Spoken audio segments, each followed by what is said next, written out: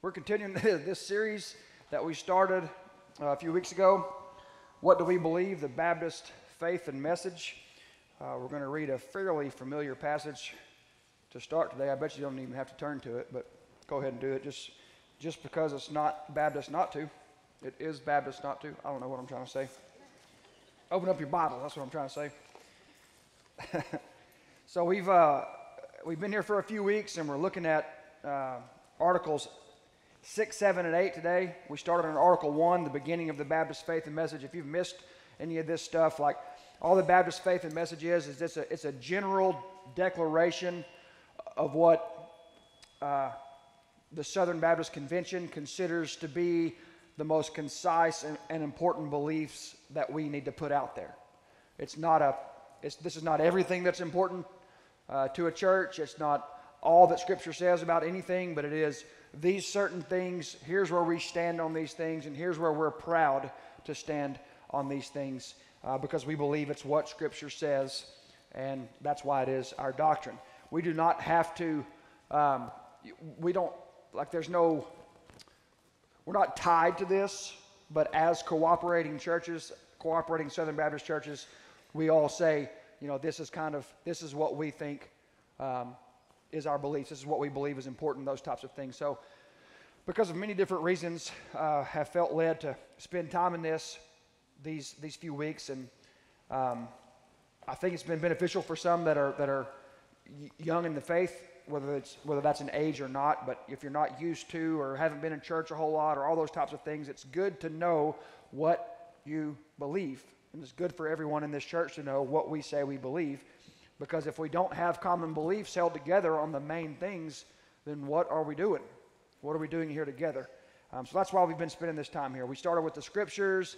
Uh, article 1, Article 2 is about God. Article 3 is man. Article 4 is salvation. Article 5 is God's purpose of grace. Article 4 and 5 are last week. And this week again, 6, 7, and 8. The church, the baptism and the Lord's Supper, and the Lord's Day. So, uh, if you would like to stand up one more time, I know some of you are going to go, that's okay. You don't have to, but if you'd like to stand up, we're going to read these verses together, and then we'll dig into these articles together. This is Matthew 28 18 through 20. Then Jesus came near and said to them, All authority has been given to me in heaven and on earth. Go therefore and make disciples of all nations, baptizing them in the name of the Father and of the Son and of the Holy Spirit teaching them to observe everything I have commanded you, and remember, I am with you always to the end of the age. Father, I come to you and I thank you for this opportunity to be together, and I echo Josh's prayer. God, I, I thank you for a space to meet together this morning on this rainy, cloudy, dreary day, God, that we are in the dry, that we may or may not be as cool or as warm as we want to be, Lord, but we are in the dry, and you have given us what we need to meet together today, God. We thank you for your grace and your mercy. And I pray, Lord, as we dig into your word, that your word would penetrate our hearts, that it would separate bone from marrow, that it would lay us bare before you, God, and that we would choose uh, in, in the agency of free will you've given us to continue to obey you and follow what you've put for us to do in our lives. God, we pray it all in Jesus' name. All God's people said, Amen. Amen. And all God's people took a seat. Amen. All right. So I'm going to read the, the first uh, article that we're going through today, the Article 6, the church. This is from the Baptist Faith and Message. It says this This is what we say the church is. A New Testament church of the Lord Jesus Christ is an autonomous local congregation. I'm going to pause there just for a second. All that means is no governing agency tells any of our churches what they have to do. Each individual local church is in charge of each individual local church in the Baptist church. That's if you if you have never ventured outside of that, you may not realize that many other denominations they they have a governing agency that tells them what they're supposed to do and when they're supposed to do it and how they're supposed to do it and this is the preacher that you're getting and, and all those types of things. So it's very different than many other mainline denominations in that. Just wanted to make that point before we move on. So it's a local an autonomous local congregation of baptized believers associated by covenant in the faith and fellowship of the gospel, observing the two ordinances of Christ, which we'll get to in a second, governed by his laws, exercising the gifts, rights, and privileges invested in them by his word, and seeking to extend the gospel to the ends of the earth. Each congregation operates under the lordship of Christ. That is who is in charge through democratic processes. In such a congregation, each member is responsible and accountable to Christ as Lord. Its two scriptural offices, offices tongue tied this morning, are that of pastor, elder, overseer, that's one office, and deacon. While both men and women are gifted for service in the church, the office of pastor, elder, overseer is limited to men as qualified by Scripture. The New Testament speaks also of the church as the body of Christ, which includes all of the redeemed of all the ages, believers from every tribe and tongue and people and nation. Amen. Pretty succinct way to sum up the church. So, a few things we're going to try to answer this morning like, what is the church? What's its structure? Why do we assemble? And what do we do? And I think, I think our BFM says that, but we're going to look at some scriptures that go along with that uh, to explain what is the church? What is its structure? Why do we assemble on a weekly basis? When we assemble, for that matter? And what are we supposed to do? Uh, so, the first thing, what is the church? We've talked about this before, but you may not know this. So, here is a Greek word for you to take with you. Wayne loves it when I talk about Greek words. He makes fun of me as regularly as he can for this. That's okay. The word for church is ecclesia. We think of church in the modern day world as this place. But, but you know, if you've read scripture, that the church is God's ecclesia, Jesus' ecclesia, which is his assembled people. The church is the believers of Jesus. That's what the church is. Now, we come to a church building in order to assemble, to not be out in the rain and all the elements and all those types of things. And we're thankful for that. But the church building is not the church. The people in the church are the church, the assembled believers of Jesus. That's what that word means. The, the, the assembly, the, the congregation is another way that you could say that. So when people gather in Jesus' name, that is the church gathering up to be what it has called to be. Those that are called out is another way to say that word, to describe that word, ecclesia. If you go to Acts 2 41 and 42, it says this This is when the church was literally being born. So those who accepted his message, pre- Peter had just preached one of the best messages ever. Those who accepted his message were. One more time? Okay, so we don't make that up. His message were baptized, and that day about 3,000 people were added to them. 3,000 people became believers in Jesus, got baptized, and joined the church. That's a heck of a message. That's one heck of a preaching message right there. Uh, they devoted themselves to the apostles' teaching, to the fellowship, to the breaking of bread, and to the prayer.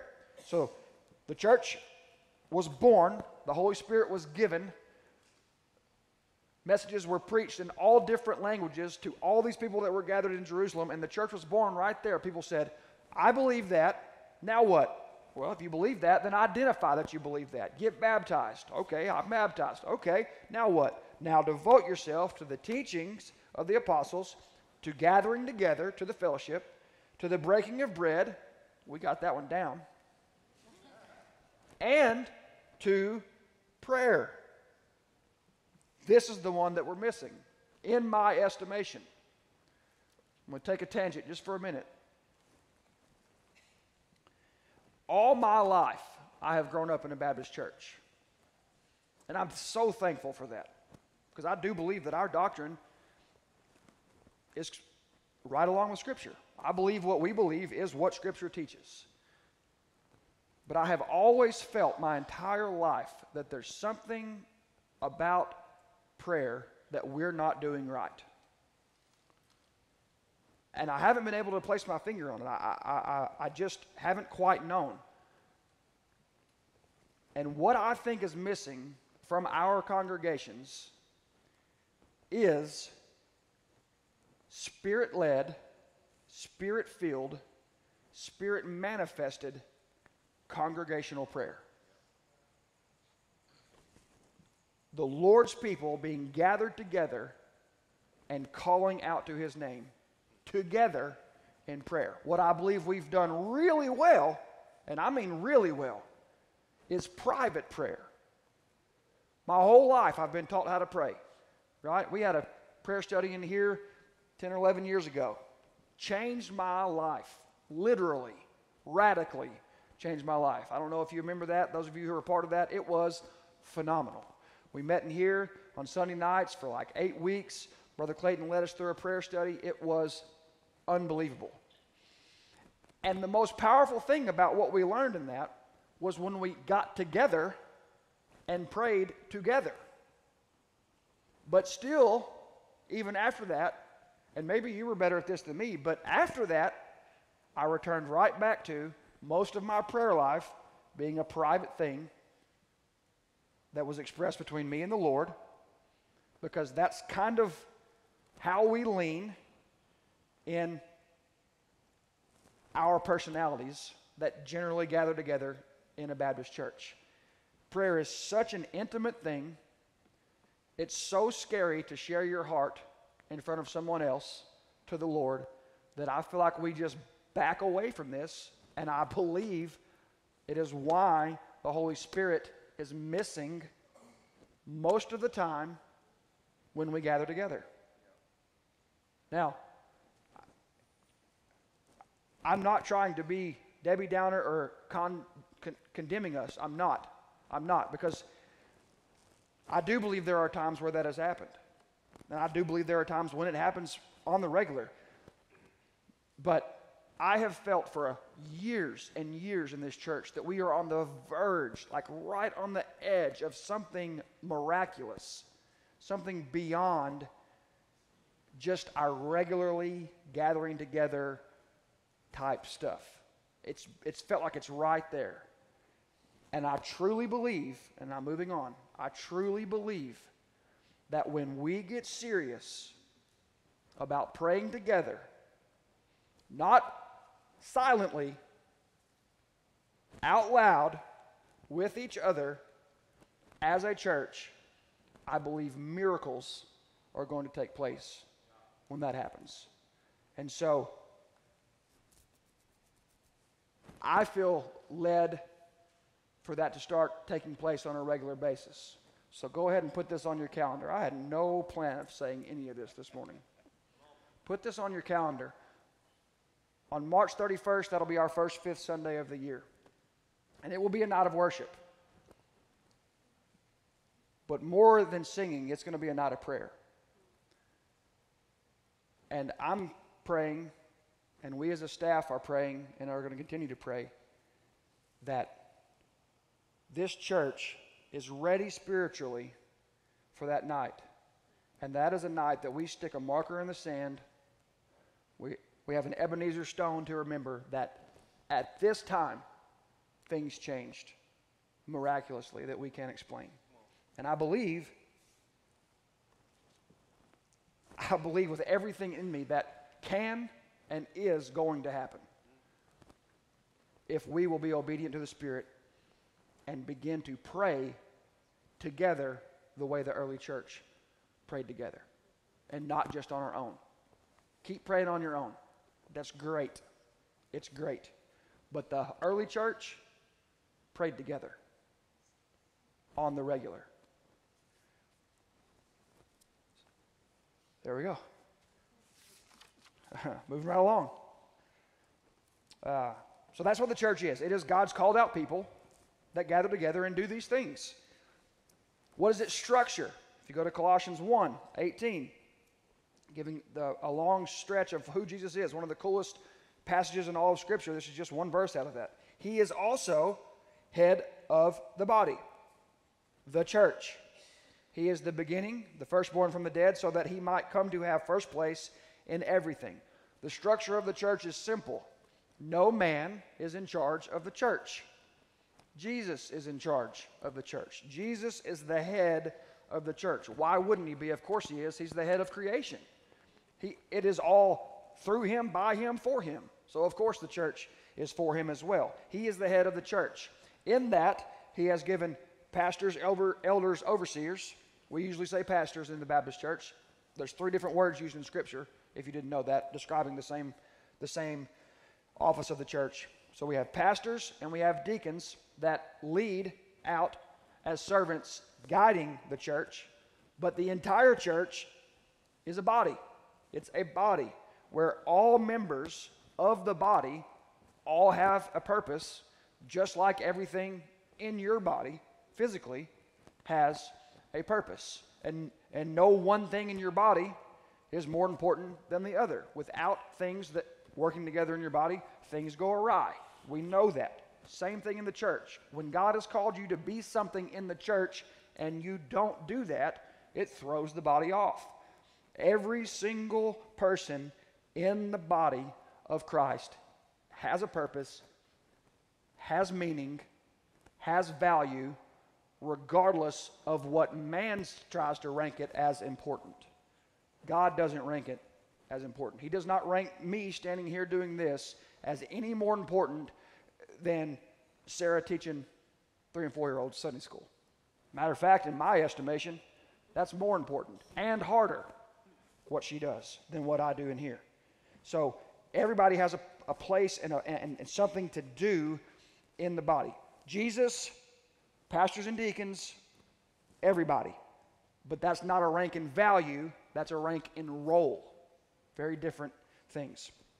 Uh, continue in Ephesians 4 says this, and he personally gave some to be apostles, some prophets, some evangelists, some pastors and teachers for the training of the saints in the work of ministry, to build up the body of Christ until we all reach unity in the faith and in the knowledge of God's Son. Why do we assemble? I'll go preachery on you for a second. Give you four words that start with the letter P. We assemble to praise the Savior. One of the reasons we gather every Sunday is to spend time together exalting the name of God, lifting up the name of Jesus, praising Jesus for who he is, for what he's done, and for what he's going to do. We also do it to prepare the saint. That's what this verse is specifically talking about. To prepare the saint, to teach, to admonish, to build up, to prepare the saint. We praise the Savior, we prepare the saint. We also do it to proclaim to the sinner we meet every week with the hope that somehow, some way, God performs a miracle through His Spirit and guides someone to this church to hear the word of the Lord preached so that they come to the point of realizing they are a sinner in need of a Savior that wants to repent and place their faith in Jesus for everlasting life. Every Sunday, we hope that happens. Every Sunday. And when it happens, it, we get to witness a miracle every single time. Praise the Savior, prepare the saint, proclaim the sinner, and provide for the sheep. That's, what we, that's why we gather, to do that, to do those things, to, to provide spiritually, materially, and every other way. If you look at the early church, they figured out a way to make sure those in need within the body got what they needed. And, and that happens so often in this church, it is mind boggling, to be honest. And most of the time, unless you're involved in it taking place, you don't even know it's happening because people do it all the time in this church and they don't want recognition for it and they don't want anybody to know why who's doing it or why they're doing it. It happens all the time. I'm talking from buying someone to an appliance to dropping off an envelope full of cash, give this to so and so. The Lord is leading me to do this. Like all the time that happens. And that's part of the reason why we are what we are, is to show that if we can help provide for each other, we're showing and mirroring how God provides for us. And it's a miracle, and it's amazing to be part of. So, we, we get together to build up the body of Christ, to bring ourselves uh, unto maturity, to, to, to learn the ways, to go and make disciples. What's the next word? Of all nations. What's the next word? And then what's the next word after that? Father, Son, and Holy Spirit. And then teaching them all the things that I've taught you. We have to meet together to learn what we're supposed to do. I don't know about you, but I hadn't got it all figured out yet. I, I still have not had a perfect 24 hour day. I, I mean, I haven't. I, not matter of fact, not a perfect 24 hour day. How about not a perfect hour? I ain't even come close. I was, I was in such a bad mood one day last week. I was ramping and raving, and I was glad I was there by myself. And I got about 15 minutes into that, and I was worn out. And I was like, what am I doing? What is wrong with me this morning? Turns out I was just tired and hungry, um, which is a dangerous place for me to be. All those that know me well know that. Yeah, I had a girl. Presley just amen that in case you didn't hear. Well deserved. 1 Timothy 3:15 says this, "But if I should be delayed, Paul saying, I'm trying to get to you, but if I should be delayed, I have written so that you know, so you will know how people ought to act in God's household, which is the church of the living God, the pillar and foundation of the truth." Isn't that cool? Paul literally says, I'm writing this letter to you. I hope I get to come see you soon. He probably didn't because he was in prison and was executed not too long after this. I hope I get to see you soon, but if I don't, this letter is so you can tell yourself and all those rowdy people how to behave. That's literally what it says. Teaching them to observe everything I have commanded you. Right? how, to, how we ought to act in God's household. Now, that means different things to different people, doesn't it? And that's what makes it interesting. What it used to mean is wear the right clothes, take off your hat, sit quietly, and be respectable. Nothing wrong with any of those things. But it is more than that, right? I mean, that's not the most important things. And, and, I, and we've done a good job of trying to focus on the more important things. But at the same time, there ain't nothing wrong with a little bit of respect and decorum, is there? Not a bad thing. We could use a little bit of that in our society. A little bit more respect, a little bit more decorum, a little less casual nature about everything. Goes a long ways. Just saying. so, what does it do? The church We'll finish there. Hold that thought. Okay? I do want to take just one second because uh, I don't want to not speak to things. So last year at the annual meeting of the Southern Baptist Convention, there was a, an, an addendum made to the BFM.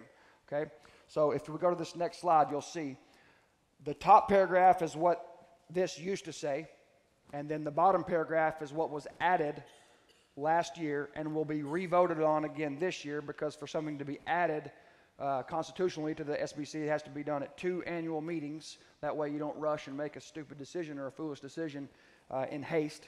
Um, so this is what it says. You can see there's not much difference, but its scriptural officers are pastors and deacons, while both men and women are gifted for service in the church. The office of pastor is limited to men as qualified by Scripture. That's what it did say. Now it says its two scriptural offices are that of pastor, elder, overseer, and deacon.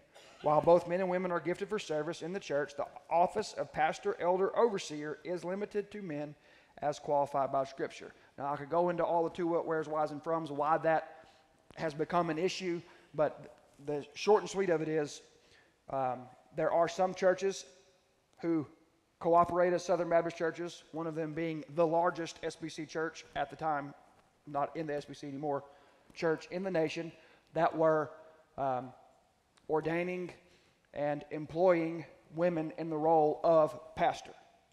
Okay? And what they were doing was what we would call a children's minister or a ladies' minister, but they were calling them pastors.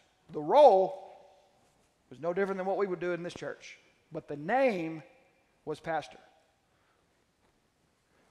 Is it semantics? A little bit. Do words matter? Yeah, yeah, a little bit. Um, do I believe that that is true? That the office of the overseer of the church, the elder of the church, the pastor of the church has been ordained as a, as a, as a role for men only. I, I do believe that's what Scripture says. I don't say that braggingly, I don't say that bodaciously, I don't say that with pride. I just think that's the way God set it up. Again, it doesn't mean anybody's more valuable than others. Matter of fact, and I've said this many a times, if it weren't for women, the church wouldn't have made it. It would not exist anymore if it weren't for women, the valuable roles that women play in the church. But that is what this church believes. That is what Southern Baptist churches believe. Um, and those churches that refused to stop doing that were asked to no longer be in friendly cooperation. Uh, in the SBC. In, like I said, including the largest church in the denomination. Don't you think that didn't scare some people about the bottom line? But the Lord shall provide. Moving right along, enough of that. If you have questions about that, I'll be happy to, to answer that or give you my opinion. Uh, Article 7 Baptism and the Lord's Supper. Christian baptism is the immersion, the putting of underwater of a believer in, wa- in water in the name of the Father, the Son, and the Holy Spirit. It is an act of obedience symbolizing the believer's faith in a crucified, buried, and risen Savior, the believer's death to sin, the burial of the old life, and the resurrection to walk in the newness of life in Christ Jesus. It is a testimony to his faith in the final resurrection of the dead. Being a church ordinance, it is a prerequisite to the privileges of church membership and to the Lord's Supper. The Lord's Supper is a symbolic act of obedience whereby members of the church, through partaking of the bread and the fruit of the vine, memorialize the death of the Redeemer and anticipate his second coming. The two ordinances or the two regular practices is another way to say that. The two regular practices of the church, the two like special ceremonies of the church are baptism and the Lord's Supper. We don't call it sacraments like some denominations do because the word sacrament is implying that this must be done in order to receive God's grace. Don't believe that. Don't believe that's what Scripture teaches. I don't believe you get saved by being baptized. I believe if you are saved, you should express that through baptism. I believe that's what Scripture teaches, and that is what our BFM teaches as well. Romans 6, 3 through 5 says, Or are you unaware that all of us who were baptized into Christ Jesus were baptized into his death? Notice it says there that who of us? Most of us? All of us. That's an interesting word. All of us who were baptized into Christ Jesus were baptized into his death. Therefore, we were buried with him by baptism into death, in order that, just as Christ was raised from the dead by the glory of the Father, so we too may walk in a new way of life, which is why we say that when we baptize someone. Buried in his likeness, raised to walk in newness of life. It's an expression of what, symbolically, of what we believe takes place at the moment of faith. For if we have been joined in him with joined with him in the likeness of his death, we will certainly also be in the likeness of his resurrection. Whew, that's fun. Mm, that's good stuff. That's good stuff. I love, I love it. Love to see it.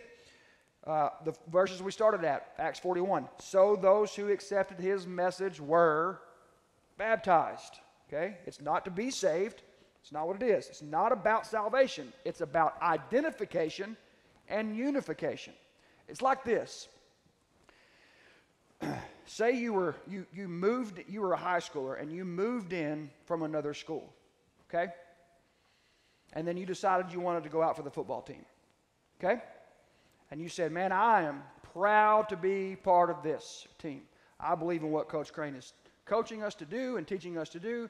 I, I, I am i'm thankful to be part of these i like my teammates i trust my teammates i want to be with my teammates right all the things Little John forever, you know, all the things. Once Little John, always Little John.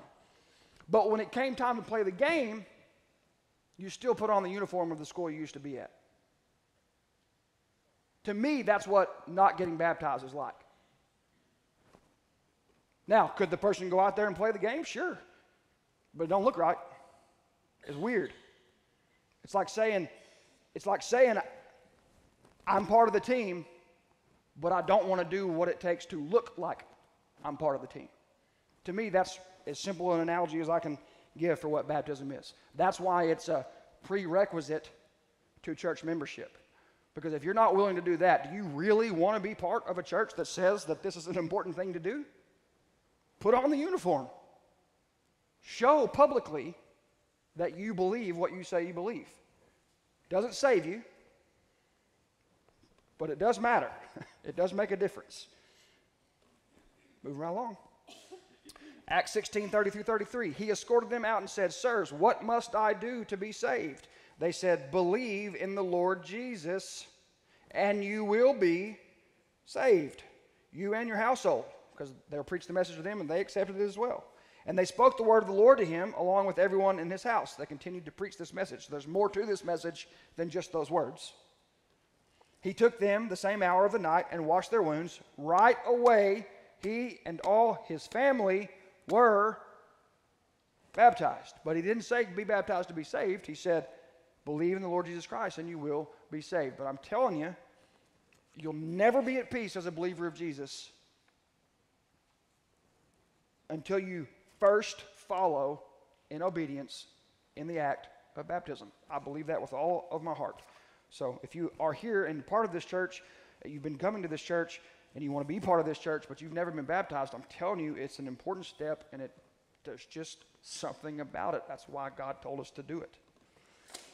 1 Corinthians 11, 23 through, 23 through 26. For I received from the Lord what I also passed on to you. On the night when he was betrayed, the Lord Jesus took bread, and when he had given thanks, broke it and said, This is my body, which is for you. Do this in remembrance of me. In the same way, he also took the cup after supper and said, This cup is the new covenant in my blood. Do this as often as you drink it in remembrance of me. For as often as you eat this bread and drink the cup, you proclaim the Lord's death until he comes. That's the second ordinance of the church, the Lord's Supper. Does it have to be done the way we do it? No.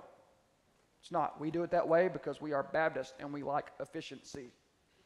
And we do it as efficiently as we possibly can. Could the Lord's Supper be us gathering together as a potluck? and giving thanks when we break the bread and giving dr- thanks when we take the drink? Yeah, could be. Matter of fact, I think that's more what the early church did was had a meal and gave thanks for the breaking of the bread and for the drinking of the wine. That's what I think. But I think what we do on, on a regular Sunday morning, I don't think it's wrong. I think anytime we take time to remember what Jesus has done for us, whether it be in our minds or with a symbolic act, I think that is a wise, good thing for us to do. But it's not like there's not a specific way you have to do it. I don't think Jesus is up there going, ah, that's not, that's not the way we did it. That one doesn't count. It's, it's about our heart, right? Last thing, the Lord's Day, Article 8. The first day of the week is the Lord's Day. It is a Christian institution for regular observance. It, it, commemorates the resurrection of Christ from the dead and should include exercises of worship and spiritual devotion both public and private. Activities on the Lord's Day should be, should be commensurate with the Christian's conscience under the lordship of Jesus Christ. Now, contrary to what many believe, there's not a whole lot of examples that say the church gathered and worshiped on Sunday in Scripture. It doesn't say that a lot. Acts 27, it says on the first day of the week they were gathered together breaking bread, and Paul began to preach. Uh, 1 Corinthians 16 2 says, On the first day of the week, you should gather up a collection. Um, there's some other places that talk about the first day of the week or the Lord's Day. John says the Lord's Day in Revelation 1, but it's not like it's explicitly in Scripture. We always met on Sunday, and if you don't meet on Sunday, that's wrong. That's not what it says. But that is traditionally what the church has done since the church began, which was a major change for Jewish Christians who Jewish people who became Christians who had always observed the Sabbath prior to that. Could we meet on Saturday night and have church and Jesus be fine with that? Yeah, we could. It would be fine. Could we meet on Tuesday morning? Yeah, we could. And it would be fine. Why do we meet on Sunday? Because Jesus resurrected on Sunday. That's why. And why wouldn't we meet on the day that reminds us of what Jesus has done for us? Because without the resurrection, there, this whole thing is kind of pointless. It's all kind of made up without that. So that's why, that's why we do meet on Sunday. But Matthew 12, 8 teaches that Jesus is Lord over the Sabbath.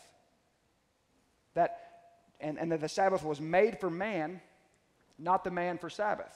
So it's not about the day that you observe, it's about observing.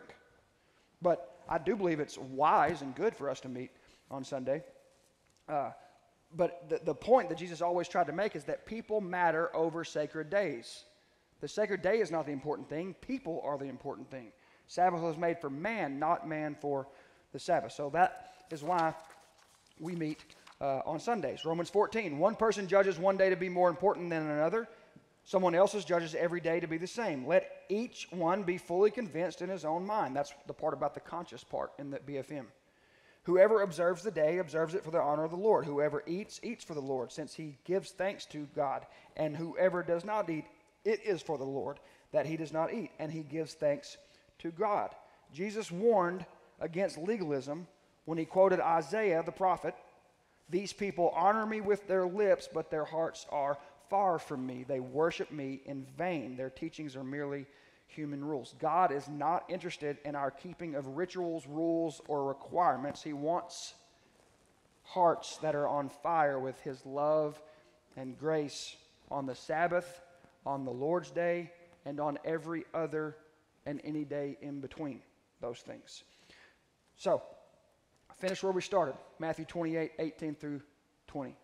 We say this every week, and we don't do it just for rote memorization. We do it because this is what we do. This is what we're supposed to do. We are supposed to advance the kingdom of God by going and making disciples. And by doing that, we bring heaven to earth. We bring the kingdom of God alive and well on the earth. We are God's assembled people, His church. Jesus is the head of the church. Pastors and deacons help guide, serve, and protect the church. We administer baptism and the Lord's Supper as the two ordinances of the church. Ultimately, every member that makes up the church matters. His role, her role, his voice, her voice, they all matter. We as a body submit to Christ's lordship over us. He is the head. We gather to, to praise the Savior, to prepare the saint, to proclaim to the sinner, and to provide for the sheep. Magnify God's name. Lift up our eyes and hearts towards heaven as a weekly reminder that we are just sojourners passing through a foreign land in this world. Every week, that's what we should be reminded of. This is a temporary thing that we're going through. Steward the time you've been given well. Steward it well. You're just a manager of a temporary vapor of a life that is continuing on for eternity. That's what we are here to remind ourselves of every week. Sojourners passing through a foreign land. We teach, we preach, we pray to prepare the saint, to train the saints for the work of the ministry, to build up the body of Christ, to make it mature, to maturity.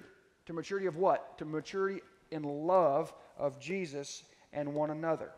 And we don't do all that to stay in this holy huddle every Sunday. As we go about life,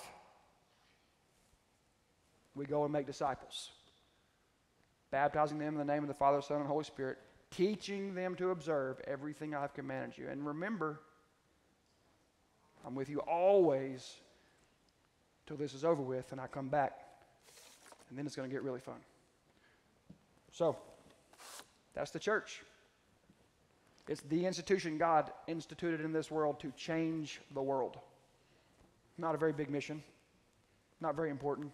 He, he only gave us the, the responsibility of changing the world in Jesus' name. Man, that's cool.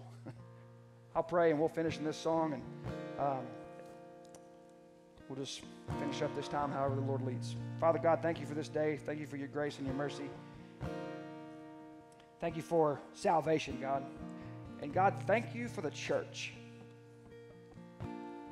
It's made up of messed up sinners like me and everyone else here, God, but thank you for it. I don't know how we could make it without the church. We frustrate each other, we disappoint each other, we let each other down, but God, sometimes we show up for each other and we help each other and we love each other beyond what is normal in this world.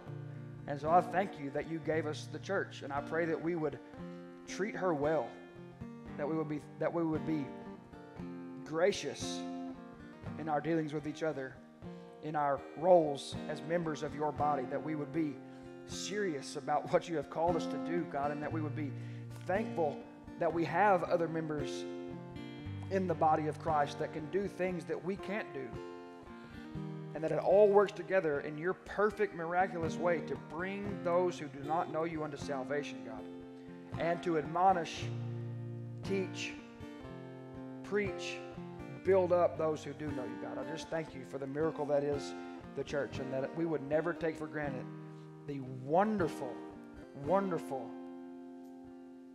gracious opportunity we get freely, legally, every week to meet together in your name, God. Thank you for that and for Jesus. We pray it in his name. Amen.